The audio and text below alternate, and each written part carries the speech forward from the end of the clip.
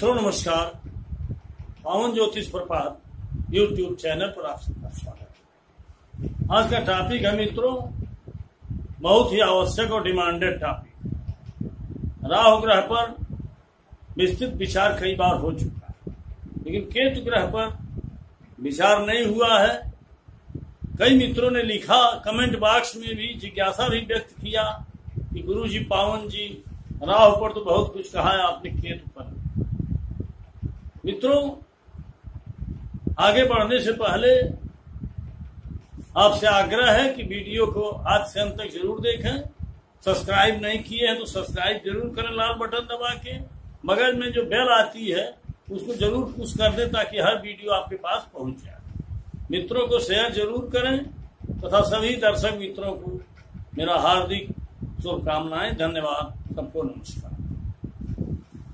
मित्रों, आज का टॉपिक केतु ग्रह से संबंधित है। जैसा कि आप सभी जानते हैं कि ज्योतिष के सभी मानक ग्रंथों में, आज तक के सभी ग्रंथों में छाया ग्रहों पर बहुत कुछ कम कहा गया उनको बहुत कम आंका गया लेकिन माननीय स्वर्गीय के कृष्णा मूर्ति जी अपने अध्ययन और शोध के दौरान कोई ऐसी चीज़ ज़रूर पाए, इतना गंभीर चिंतन उन्होंने किया। उन्होंने कहा, nodes are stronger than other planets और आर सैडो प्लेनेट्स। अर्थात राह के जो छाया ग्रह हैं, अन्य ग्रहों से ज़्यादा शक्तिशाली। और इस पे ज़्यादा चिंतन और विचार किया गया। ज्योतिष शास्त्र में केतु को कुजवत कहा गया। अर्थात मंगल के समान। लेकिन मंगल के मुकाबले ये अधिक कड़ा ग्रह होता है। मंगल से भी कड़ा होता है। केतु, इसके प्रभाव और स्वभाव और गुण आज है केतु ग्रह के स्वभाव गुण और प्रभाव पर व्यापक विचार। यह आज का टॉपिक स्वभाव गुण और प्रभाव पर व्यापक विचार। यह आज का टॉपिक है। तो केतु मंत्र तंत्र साधना कड़ी तपस्या। का दर्शक। मंत्र तंत्र साधना और कड़ी तपस्या का दर्शक है, अर्थात जिसके पाँचवें और नौवें स्थान से केतु रिलेटेड होता है वह लोग मंत्र तंत्र साधना के क्षेत्र में उतरते हैं, कड़ी तपस्या और साधना करते हैं। केतु का यह प्रभाव है। केतु को ऊंचाई का प्रतीक माना गया है, मोक्ष का प्रतीक माना गया है, पूजा पाठ के मामले में ऊँचा माना गया है। केतु का प्रतीक है ध्वजा, पताका। तो किन्हीं मामलों में केतु को ऊँचा माना गया है। कि राहु को सांप का मुख और केतु को पूछ माना गया। मुख में जहर होता है और पूछ में शक्ति होती है। अर्थात शक्ति का प्रतीक है केतु। तो इस तरह से गुण में जो है विरक्ति विरक्ति होती है केतु में। केतु से प्रभावित व्यक्ति जो है, वो विरक्त होता है। केतु में बाधा या अटकाव करने की प्रवृत्ति ज़्यादा होती है, कार्यों को अटकाता है। अजीब प्रकार की बीमारियाँ होती है, पागलपन हो जाना। हाथों को निहारना, मानसिक बीमारी, इस तरह से न समझ में आने वाली बीमारी और मंत्र, तंत्र, साधना, तपस्या, इससे रिलेटेड बीमारियाँ होती ये की बीमारियाँ जो है, ये त्वचा कोड़ भगंदर जैसी वेदनादायक बीमारी त्वचा की बीमारी कोड़ भगंदर कैंसर, ये ज़्यादा वेदनादायक बीमारियाँ असह्य होती है। और केत के अंदर कारोबार क्या है? आयुर्वेद आयुर्वेद शास्त्र संबंधित है। जैसे मैंने आपको बताया है कि कौन सी विधा अपनाई जाए, कौन सी पैथी अपनाई जाए, पंचम स्थान के सब लाड को देख करके उसमें केत का मैंने आयुर्वेद ही बताया है।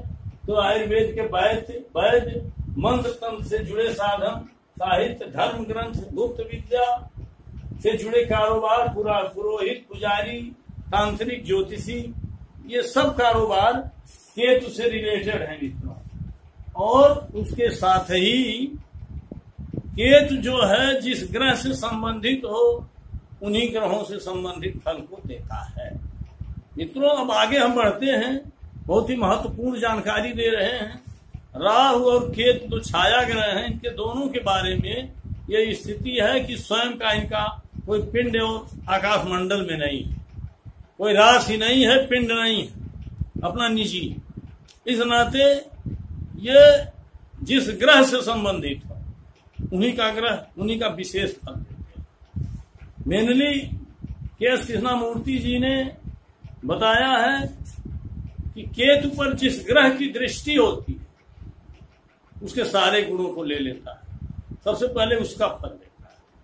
दृष्टि का मतलब साम में हो, अंशों में समानता हो। मतलब चार छह अंश की दूरी पर हो, दोनों ग्रह ऐसा ना हो कि एक पाँच अंश पर, एक पच्चीस अंश पर तो दृष्टि सामने नहीं। ज्युति हो दूसरे नंबर पर जिस ग्रह के साथ रहता है, योग में रहता है, वो भी चार छह अंश से अधिक की दूरी पर नहीं होता। तो जिसके दृष्टि में हो पहला फल उसका, दूसरे नंबर पर जिसके योग में हो उसका फल, तीसरे नंबर पर जिसके नक्षत्र में है, उसके सारे फलों को देता है, और अगर अपने ही नक्षत्र में है के तब जिस राशि में है उसका फल। इस तरह से इसका क्रम है मित्रों। अब केतु और राहु का सिग्निफिकेटर तय करना हो तो बहुत आसानी से नहीं होता। बहुआयामी ग्रह है। अगर पंचम का सबलाड केत हो गया, सप्तम का सबलाड केत हो गया, दसम का सबलाड केत हो गया मान लीजिए पंचम में दो पाँच ग्यारह नहीं आया, सप्तम में सात दो ग्यारह नहीं आया, दसम में छह दस ग्यारह नहीं आया तो भ्रम में पढ़ने की ज़रूरत नहीं है।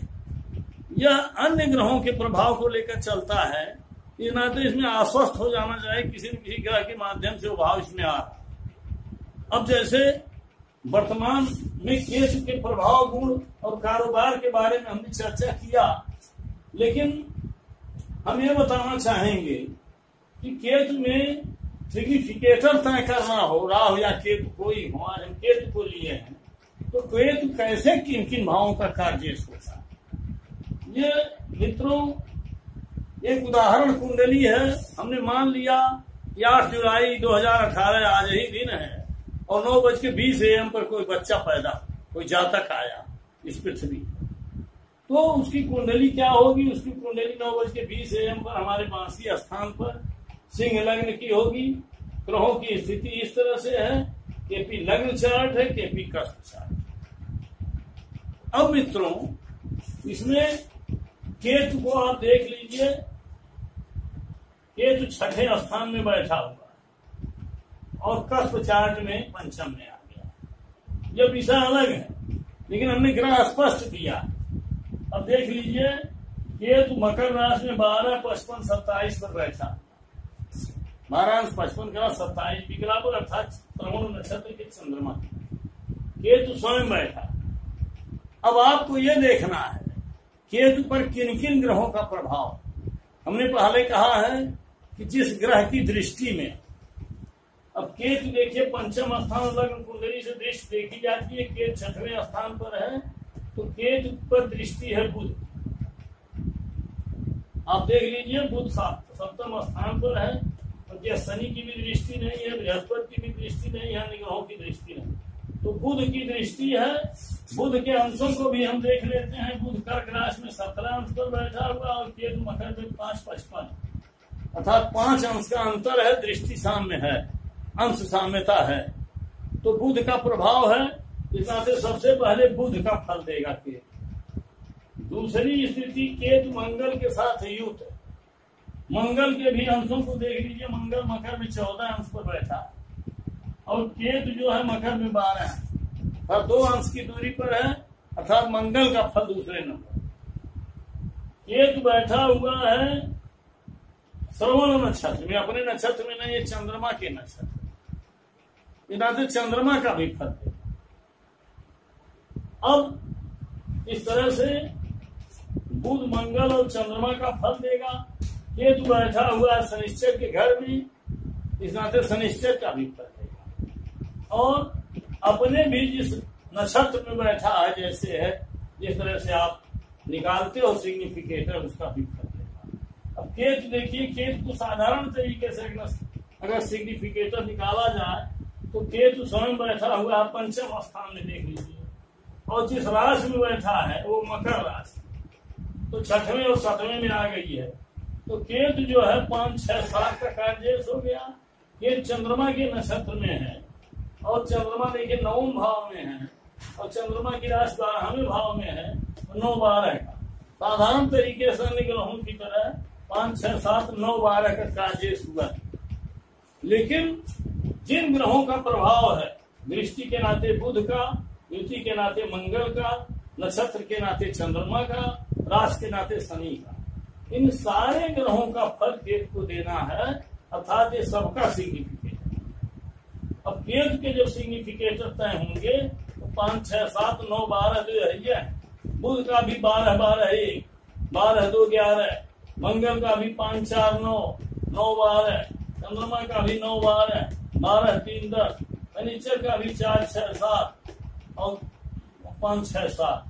अर्थात हम उन्हीं ग्रहों को यहाँ रखे हैं जो केतु से संबंधित हैं। दृष्टि बुध की है ज्योति मंगल की है, नक्षत्र चंद्रमा का है राष्ट्र निश्चय। अर्थात केतु के साथ ये सारे ग्रह जो हैं, पाँचों, जिन भावों के सिग्निफिकेटर हैं कार्जेस हैं, उनका सबका प्रभाव केतु पर है। इस नाते मित्रों राहु केत बहुत ही स्ट्रांगर देन अदर प्लेनेट तो केतु पर हमने विस्तार से चर्चा किया है। और केतु के गुणों को हमने बताया है, बीमारियों को हमने बताया है, नोटिंग भी दिया है। आशा है कि आप इसको समझ गए होंगे, मेरे आशय को, और केतु पर विस्तार से चर्चा हमने किया है। आज का टॉपिक लंबा हो रहा है इस नाते आज के टॉपिक को हम ही खत्म करते हैं। आप सबको बहुत बहुत धन्यवाद, नमस्कार, शुभकामनाएँ।